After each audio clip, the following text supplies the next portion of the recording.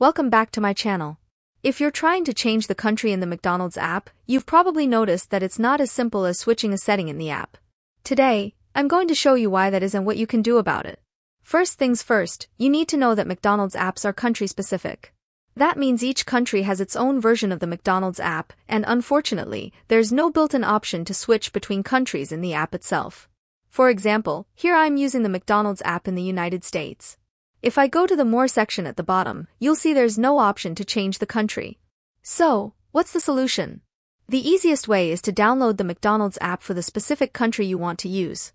You can do this by searching for the app online. Let's say you want to use the McDonald's app for Canada. Just search for McDonald's Canada APK on Google.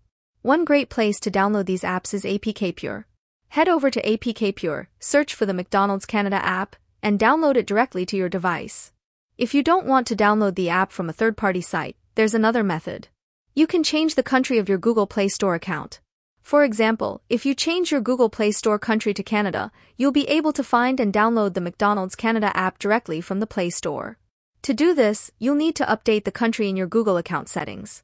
Keep in mind, this process might require a payment method from the new country, and you can only switch countries once a year. And that's it. Now you know how to use the McDonald's app from any country.